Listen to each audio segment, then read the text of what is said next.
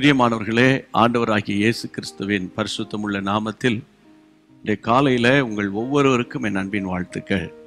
தேவன் நல்லவர் Jesus meets YouTube family GPS Robinson Facebook இவை அனைத்திலும் இணைந்து ஒவ்வொரு நாளும் காலை நேரத்தில் இந்த செய்தியை கேட்டு வருகிற உங்களை நினைத்து தேவனை மகிமைப்படுத்துகிறேன். உங்களை நினைக்கும் போதெல்லாம் நாங்கள் கத்தரை ஸ்தோத்தரிக்கிறோம். கத்தருக்கு மகிமை உண்டாவதாக. அனுதினமும் ஆவியானவரோடு பயணிப்பது ஆவியானவரோடு இணைந்து ஜெபிப்பது அவருடைய நடத்துதலை அறிந்து கொள்வது இதை போன்ற ஒரு பாக்கியம் இந்த உலகத்தில் வேறு ஒன்றுமே இல்லை. இன்றைக்கு ஆவியானவருடைய குரலை கேட்போம். சங்கீதம் எண்பத்தி ஒன்று பத்து. உன்னை எகிப்து தேசத்திலிருந்து புறப்பட பண்ணின உன் தேவனாகிய கர்த்தர் நானே. உன் வாயை விரிவாய் திற நான் அதை நிரப்புவேன். கர்த்தர் நமக்கு ஐம்புலன்களை கொடுத்திருக்கிறார். அதுல மிக முக்கியமானது நம்முடைய வாய் உதடுகள் நாவு இவையெல்லாம் சேர்ந்து வாய் என்று சொல்லுகிறோம். ஆனால் தேவனுடைய பிள்ளைகளே அது உணவை உட்கொள்ளுகிறதுக்கு மட்டும் கிடையாது. நம்ம அருமை இரட்சகராகிய இயேசுவை வாயார புகழ்வதற்கு நாவினால் பாடுவதற்கு துதிப்பதற்கு நாம் பயன்படுத்த வேண்டும். உன் வாயை விரிவாய் திற நான் நிரப்புவேன். அன்றைக்கு அப்போஸ்தலர்கள் நூற்றி இருபது பேர் கூடியிருந்த மேல் மாடியில அபிஷேகம் அவர்கள் மேல் பொழிந்தருளப்பட்ட போது அவர்கள் தேவனை துதித்தார்கள் கத்தரை மகிமைப்படுத்தினார்கள். அப்போது அவர்களுக்கு கொடுத்த அவரவருக்கு கத்தர் கொடுத்த கிருபை வரத்தின்படியே வெவ்வேறு பாஷைகளை பேசத் தொடங்கினார்கள். அப்போ பேச தொடங்குறாங்கன்னா மேல் உதடு கீழ் உதடு நாவு எல்லாம் முக்கியம். அப்போ இன்றைக்கு காலையிலே நீங்கள் ஆண்டவரை துதிங்க நல்ல ஸ்தோத்திரம் பண்ணுங்க. உதாரணமாக சொல்கிறேன் வறட்சியான காலத்தில் மழையே இல்லாத காலத்தில் ஒரு நாள் மழை வந்தா அந்த மழை வந்து அந்த தண்ணீர் எந்த இடத்துல கொட்டுகிறதோ அங்கு போய் ஒரு பாத்திரத்தை வைப்போம். சிலர் ஒரு பெரிய குடத்தை வைப்பார்கள். இன்னும் சிலர் ஒரு பெரிய ட்ரம்மை கொண்டு வந்து வைப்பார்கள்.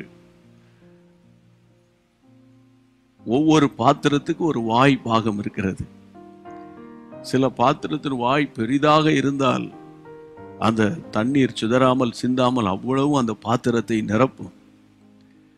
அதே போல உங்கள் வாயை நன்றாக திறந்து அவரை துதித்து புகழுங்கள். ஒவ்வொரு நாள் காலையில் தேவனுடைய கிருபைகளை எண்ணி பாருங்கள். அவர் கடந்த காலத்தில் நடத்தி வந்த செய்கைகளை யோசியுங்கள். அவர் பாராட்டின அன்பை கொஞ்சம் நீங்கள் சிந்தித்து பார்த்து அவரை புகழுங்கள். அவரை ஆராதனை செய்யுங்க. அவரை ஆராதிப்பதற்கு அந்நிய பாஷையை பயன்படுத்துங்க. அந்நிய பாஷையினால் தேவனை நல்ல நீங்கள் வாயை திறந்து துதிக்க துதிக்க துதிக்க துதிக்க துதிக்க வசனம் சொல்லுகிறது. கத்துடைய பிள்ளைகளை கிருபை பெருகிட்டே இருக்கும். கிருபை பெருக பெருக பெருக அந்த நாள் முழுவதற்கு வேண்டிய ஞானம் அறிவு வெளிப்பாடு உங்களை அறியாமலே உங்களுக்குள்ள வந்து செயல்பட ஆரம்பிச்சிடும் அப்படியானால் இன்றைக்கு கத்தர் கொடுத்த வார்த்தை என்ன? நல்ல வாயை திறந்து ஸ்தோத்திரம் பண்ணுங்க.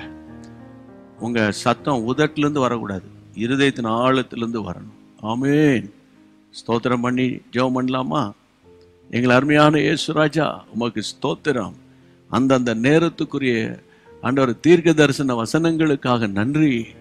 ஆண்டவர் துதிகளுக்கு பாத்திரரே துதிகளின் மத்தியில் வாசம் பண்ணுகிறவரே. இப்போது உம்முடைய பிள்ளைகளோடு கூட சேர்ந்து நான் உண்மை ஸ்தோத்தரிக்கிறேனப்பா துதிக்கிறேனப்பா கேரு மீன்களும் சேரா மீன்களும் ஓயாமல் உமை துதித்து ஆராதனை பண்ணி கொண்டிருக்கிறாங்களப்பா நாங்களும் உம்மை ஸ்தோத்தரிக்கிறோம். உம்மை மகிமைப்படுத்துகிறோம். வீடு ஸ்தோத்திரத்தினால் துதியினால் நிரம்பட்டும். ஒவ்வொரு தேவ பிள்ளைன்ற இருதயம் அப்படியே நிரம்பட்டும். சந்தோஷத்தினால் இந்த நாள் முழுவதும் உடைய பிள்ளைகள் தேவ பிரசன்னத்தில் களி கூறுவார்களாக. கிருபையின் கரம் நடத்தட்டும்.